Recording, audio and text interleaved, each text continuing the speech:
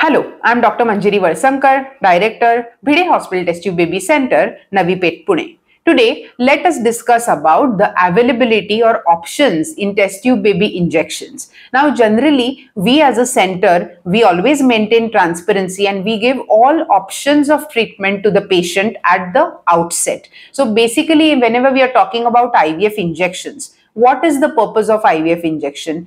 Whatever number of eggs which are seen around day 2 or day 3 that is the antral follicular count all those eggs have to be grown symmetrically in 12 to 15 days of the period after which the ovum pickup takes place.